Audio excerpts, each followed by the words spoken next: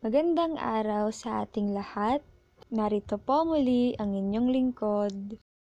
Halina't samahan niyo po ako at pag-usapan po natin ang mga alagang manok ni Sir Nunoy. So, shoutout at courtesy po sa iyo, Sir.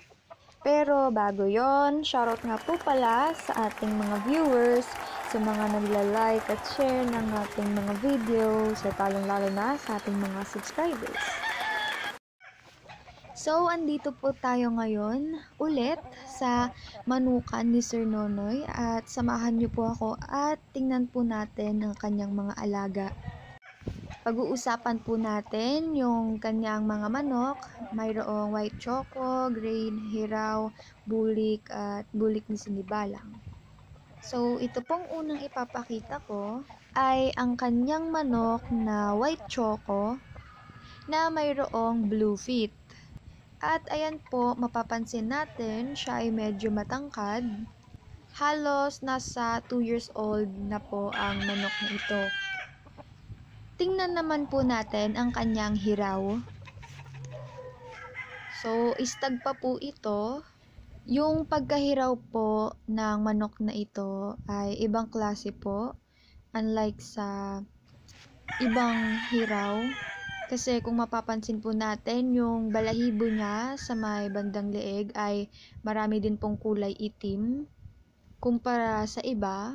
At yun po, ang kanyang mga paa naman ay white feet. Next naman po ay puntahan natin yung isa niya pa pong hiraw. So, ayan po, kung mapapansin natin, ito talaga yung common na hiraw. Kasi ganito po yung usual na kulay nila. Tapos, yung kanyang mga paa naman po ay nababagay din sa kanya, itim.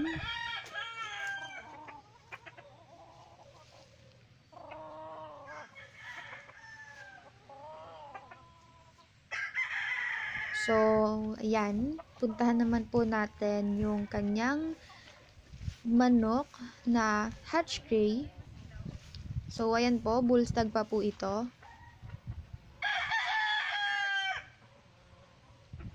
So, tingnan naman po natin ang kanyang bulik na bandilaan.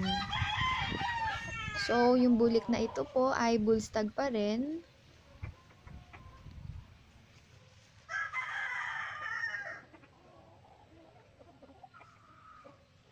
So, puntahan po natin yung isa pa niyang bulik na sinibalang.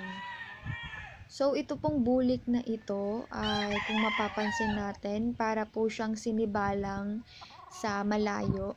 Pero kung natin po siyang malalapitan, ay may mga batik-batik na siya. So, bulik po. At hanggang dito na lamang po muna sa ngayon. Maraming salamat po sa panonood. Maraming salamat sa ating mga viewers, sa mga nagla-like at share ng ating mga videos, at lalong-lalo na po sa ating mga subscribers. Shoutout po sa inyong lahat. Maraming salamat at God bless!